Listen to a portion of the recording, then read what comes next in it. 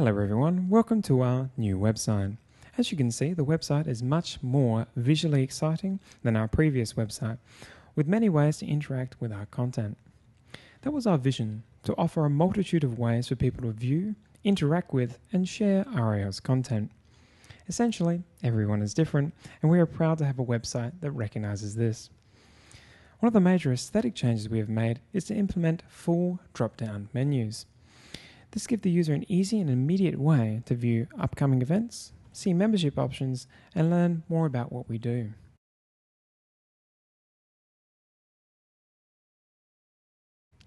Also, we now have a strong social media focus. Social media is a very popular way to interact with content and to share it with friends, share it with colleagues. So, as you can see, we've got Facebook, Twitter, Flickr, and Vimeo, which hosts uh, the majority of our video content, as well as Eventbrite, because we use Eventbrite for all our bookings. We're trying to create communities with this social media, and we also want to create a community inside the website. So, what we've done is any member now has a user login to the site and can log in and has a profile, just like Facebook. And they can contact other staff, other members, and also reply on events, pages, articles, blogs, whatever it may be. I want to give people a voice in our events and maybe give us feedback on what we can do, what we can do next, things like this. We also wanted to create a personalized touch, and we think we can do this simply by having an Our People page. It can be as simple as just putting a, a face to the name that you saw in an email, that you saw on an Eventbrite calendar, whatever it may be. So that's what we wanted to see.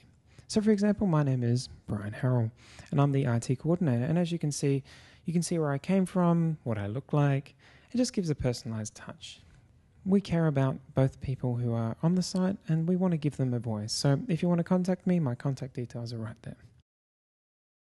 As you can see, the background image changed then. So, basically, in our vision to create a way for people to engage our content, we created many different ways to showcase it. So as you can see on the left hand side, we've got also in this section with different sections of that. We've also got a little widget below, which will show upcoming events, news, and people.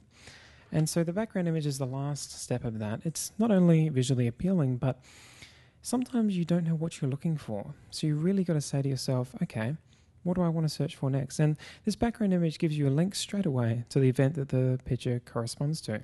And we've tried to make this on all top level pages so when you go to a page, you think, okay, maybe I'm interested in that.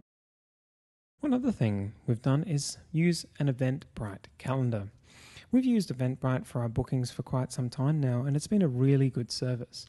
And we thought about incorporating the calendar in it to make it very easy for you if you're free on a certain day and maybe you don't want to have a look at the event, you literally just want to book for it, make it very easy. So, for example, if I want to book for today, I just go 24th, and register now and I'll open that in a new tab.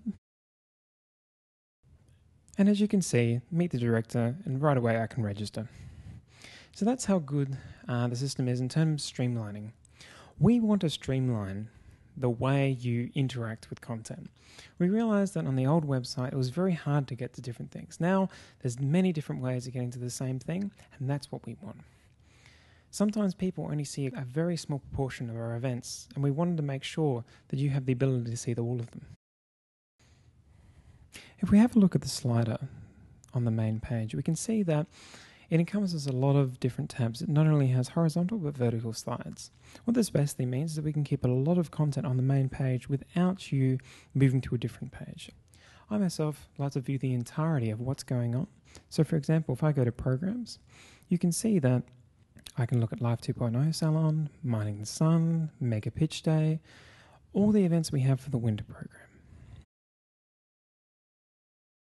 In conjunction with the launch of the website, uh, I'd like to invite you to our digital art exhibition, which is just over here in art.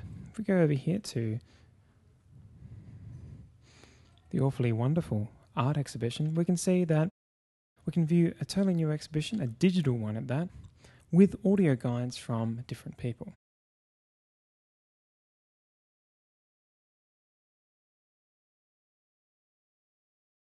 We also continue to use YouTube for a lot of our events. And the reason being is we recently got an upgraded account and it allows us to upload HD videos to YouTube for you to view straight away. So if I was to do that, I can go, let's go the winner of the 2010 SciQ competition. Let's do, I'll open that in a new tab and we can have a look and load straight away. That's what we want. We want you to say, let's watch this and let's do it.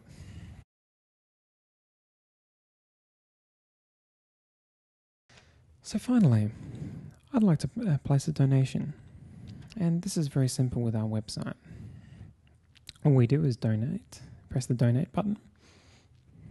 Let's make a one off donation. So put in all my details.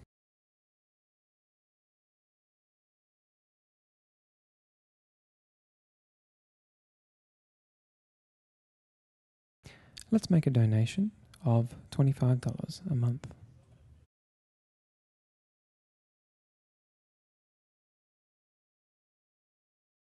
As we can see, we've made the donation. So I'd like to say thank you for viewing this short tutorial slash website launch uh, briefing video.